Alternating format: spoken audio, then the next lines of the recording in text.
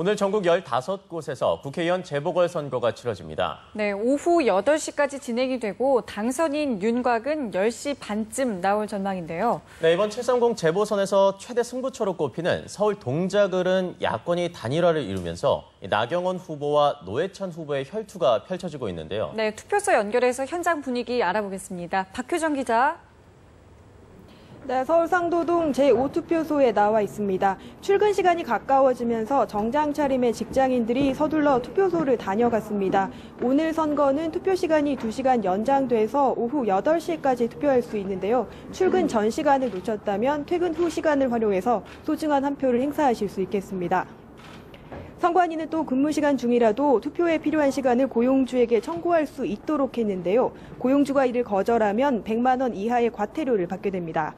제가 나와 있는 동작을 제5투표소는 조금 전인 8시까지 275명의 유권자가 다녀가서 약 6.5%의 투표율을 기록했다고 현장 선거관리인이 밝혔습니다.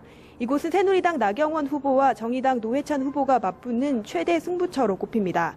초반에는 나 후보의 우세가 뚜렷했지만 노 후보가 야권 단일 후보로 확정된 후 맹추격에 나서면서 양측 모두 결과를 속단할 수 없는 격전지가 됐습니다.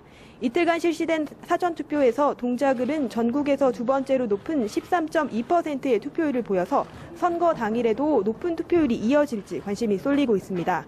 특히 동작을은 절대 강자가 없는 전통적인 스윙보트 지역입니다. 지금까지 세번 이상 당선된 후보가 없을 정도인데요.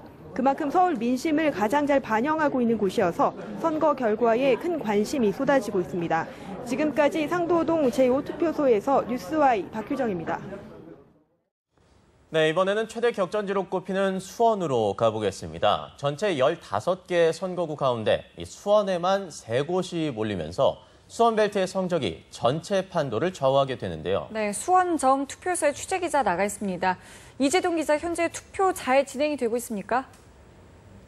네, 수원정 영흥체육공원 투표소에 나와 있습니다. 시간이 지날수록 이곳을 찾는 유권자들의 발길이 늘어나고 있는데요.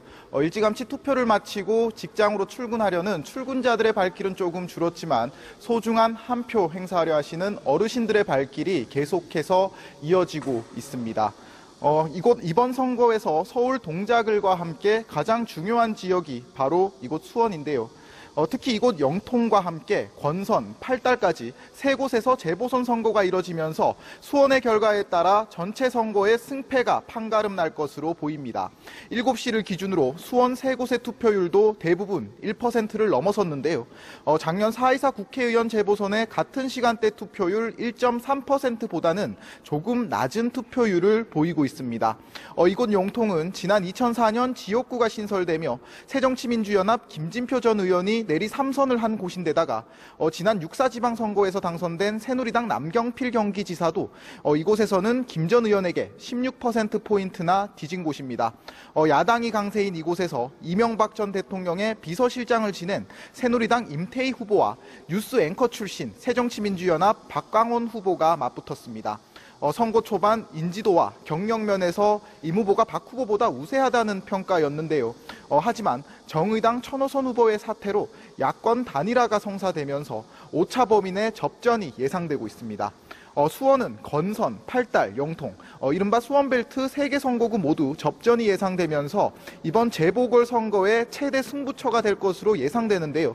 어, 특히 야당세가 강한 이곳 수원 영통에 새누리당 임태희 후보가 또 그리고 여당세가 강한 수원 팔달에 새정치민주연합 손학규 후보가 서로 엇갈려 출마하면서 관심이 높아지고 있습니다. 오늘이 평일인데다 또 여름 휴가 기간까지 겹쳐 투표율이 낮을 것으로 예상되는데요. 어, 지지층을 얼마나 투표소로 나오게 하느냐가 선거의 승패를 좌우할 것으로 보입니다. 지금까지 수원 영통 어, 투표소에서 뉴스와이 이재동입니다. 네, 이번 730 재보선 선거전은 몸 낮추기 경쟁이나 다름없었습니다. 네, 여야 후보는 물론이고 당 지도부까지 선거 승리를 위해서라면 못할 것이 없었습니다. 임광빈 기자입니다. 큼지막한 앞치마를 두르는 것도 후보자를 들쳐업고 한 표를 호소하는 것도 여러분 송환기 후보 당선시키려면 제가 매일 업고 다니겠습니다 여러분 유권자들의 마음만 얻을 수 있다면 뭐든 마다하지 않았습니다. 시민들의 요청에 눈높이를 맞추고 길바닥에 넙죽 엎드려 큰절을 올리기까지 한여름 무더위에 얼마나 뛰어다녔는지 셔츠는 이미 땀범벅이 됐습니다. 윤준 후보 같이 왔어요. 윤준호를 도와주세요. 표로 보내서 열심히 하겠습니다. 선거 시작과 함께 출범한 여당 지도부나 선거 결과에 따라 책임론에 휩싸일 처지에 놓인 야당 지도부나 이번 재보선은 결코 양보할 수 없기 때문입니다. 당 지도부 이상 승리가 간절한 사람은 선거 전에 나선 후보 당사자들.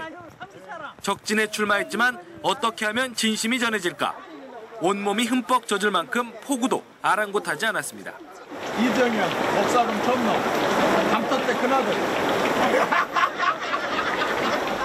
어디서든 누구를 만나든 깊숙이 허리를 숙여 인사하며 처음부터 새로 시작한다는 마음으로 다가갑니다.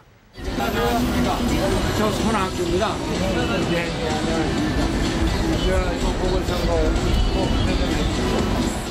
지지를 호소하며 유권자 앞에서 한없이 몸을 낮춘 여야 후보와 당 지도부. 유권자들의 마음을 얻기 위한 간절함은 한결같았습니다.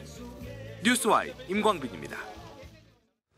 네, 이번 재보선은 미니 총선으로 불린 만큼 그 규모가 크다 보니 그 결과에 따라서 정치권 지형에도 상당한 변화를 가져올 것으로 보입니다. 네, 선거의 의미와 향후 전국을 정호윤 기자가 짚어봤습니다. 과반 의석을 되찾아야 하는 여당이나 전국 주도권 확보가 절실한 야당 모두 이번 재보선은 특별할 수밖에 없습니다.